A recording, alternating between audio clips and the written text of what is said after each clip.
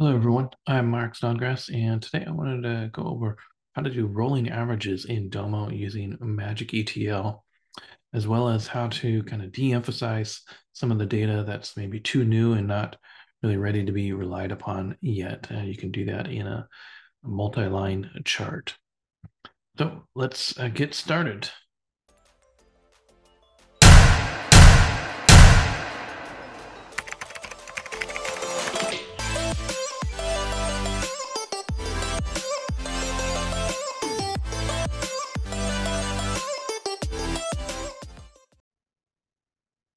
Here's my Magic ETL data flow. And you'll see here, important thing is to first grab your Domo calendar. This is found in the Domo Dimensions uh, uh, connector. You choose the calendar data set, and it's really useful as dates uh, going back uh, very far and then also into the future. And then it's got to break it broken down into uh, lots of different uh, data segments about it we're going to just really rely upon the date field because it's got um, a row for every date uh, that there is. Uh, the first thing I'm going to do is kind of uh, restrict it to just being historical dates. So I don't need the future dates in this in that calendar data set. So I'm using the formula field to say, hey, where the date is less than or equal to the current date. Uh, so that will uh, bring that back down that data set a little bit smaller. And then here I'm, then I only want that date column. So then I'm just kind of down to one column with that data set. And then I'm going to set a constant here that I can join here in just a minute. But I usually call it join key and then set a value of one. Then with my data that I have, um, I've got just some claim data. We're going to do a, uh, some counts on it and create rolling averages off of it but I've got different uh, lines of business. So the first thing I need to do is get a distinct list of lines of business. So an easy way to do that is with the group by tile and using, hey, there's my line of businesses would be like essentially your series that you might put in a line chart typically, and then just aggregate it on something. You can, I'm going to really discard this field here in a minute, but that just gives me a distinct list of lines of business that I have. Then I'm also going to do a constant on here, that same one, this join key. And then I'm going to do an inner join. I'm going to do it on this um, join key column. So one equals one, which is going to give me a row for every line of business for every date in that data set. So you'll see here, starting with January 1st, we've got a row for each line of business in here. And then January 2nd, starts and we've got a row for each line of business. So each row, each date uh, has an entry for each line of business. It's going to be key here. And so then this other group by, I'm grouping by a date in the data set, uh, when that claim occurred, and then the line of business, and then creating an aggregate here as well. So how many 11 claims for workers' comp occurred in August 1st, 1985 uh, on September 23rd, 1985, there were 10.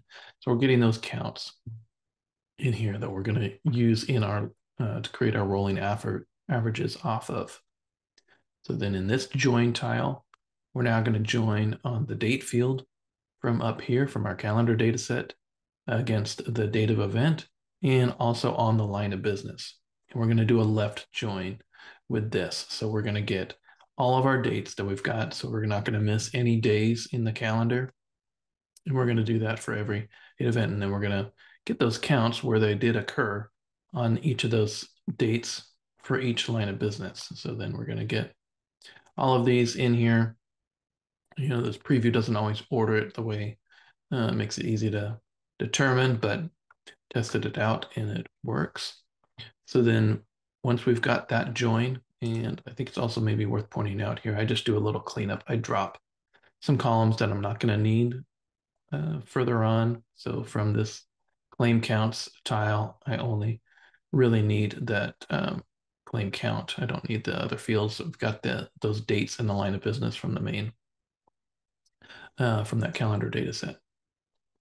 So then in this one here, I'm all I'm doing is replacing nulls uh, with a zero so that, you know, if there was no claims that day, I'm going to put a zero uh, there so I don't have any nulls in my data set.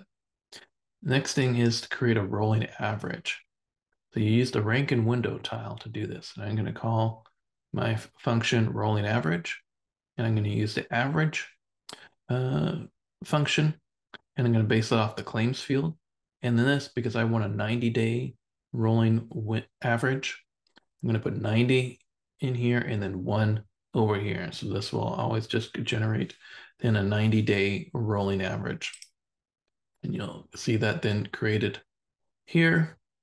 Uh, you can see that going going on and creating that 90 day rolling average based off of what's what the data looks like. I think the uh, point important point to point out here is the uh, if we scroll down here, um, once you apply that first part of the rolling average and the 90, then you need to order it by the date and you're going to order it date ascending. And then you're going to partition by whatever your series. And again, in my case, mine's the, the line of business. So these two points are uh, very important for your uh, rank and window to work uh, properly and get that 90 day average.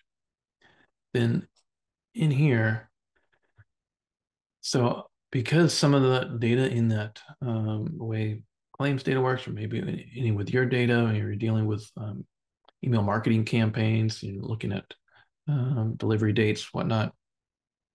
Maybe this date in the current month is too new, so you don't want to necessarily use it. So I've created a, a new field called rolling average complete month.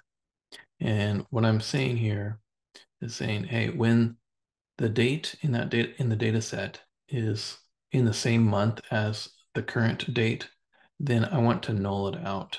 I don't want a value to be, be there.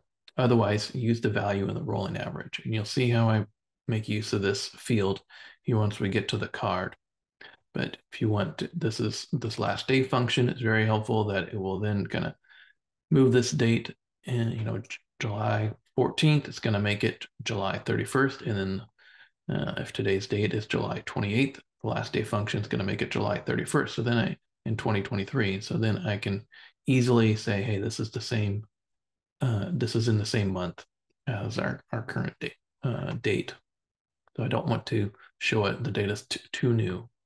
You could also do a, a date subtract uh, function and say, hey, maybe I don't want the last, so the last 14 days or something like that. So you might want to adjust this depending on what you're needing to do. Uh, I'm going off of, I don't want it if it's in the current month. Then I've got that all created out, got those showing, and I'll hop over here to my card now.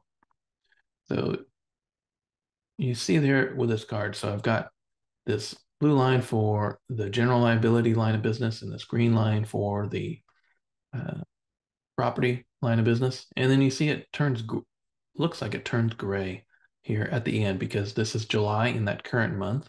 That's what I'm making. I'm kind of fading it out because it's not materialized yet. So how do we go about doing that? Well, let's hop into the card and show you what that looks like.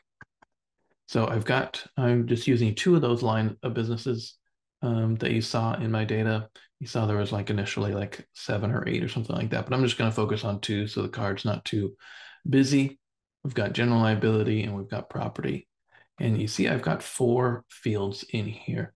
So I've got uh, this one about general liability and this one about general liability. And what do those look like? Well, if we look at this, I've kind of abbreviated rolling average general liability. So when the line of business is general liability, then use the rolling average um, value.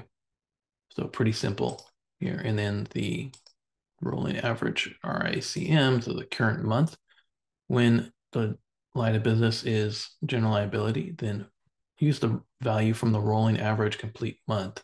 And you saw that that was the uh, where I'm nulling out the values if the values in July right now, because that's when where the current date is. So those two values are going to be the exact same all the time until we get to um, that current month. And then the uh, value is null for those um, ones in the rolling average current month. So I put, it's important, the order is important. So you see this RACM is first, and that's that blue line. And then this is the uh, rolling average general liability, the one without the um, nulling of the dates. And all I'm doing is the color rule. So you see when you hover over here, they're the exact same, they're covering the exact same, they have the exact same values. So you see, so they're really overlapping. And so we make that kind of look like the same line because we're just using the same values and then nulling out those ends and then using the color rules. So saying, hey, for the rolling average generality used, that's going to go all the way to the current date. Let's use a light gray for that. And then for the rolling average uh, complete month, where we're only doing those values up into the last uh, completed month, then we're going to do a dark blue. And same for property here. So we're doing a light gray that's going to run all the way to today, and then the green for that one that's just going to really end through the end of June because we're in July right now. So then as long as you put them in the correct order where you put the uh, colored one first and then you put the gray one second, then it'll line up and um, make this look like this and give you that appearance that it's really one line but changing colors uh, as it goes forward. But we're really, there's really two lines going on. So we're doing that for uh, property as well. So you could choose to hide the uh, labels or rename them if you wanted to. But uh, and the other thing I did just to make this um, a little more evident is that I chose the line thickness of thick. So then that makes uh, this show up a little bit uh, better, easier to see certainly for this demonstration. So then you get that and then people are able to see, oh, uh, this is not fully uh, materialized yet, so don't, you can see it, but not really trust that data yet because it's a little too new.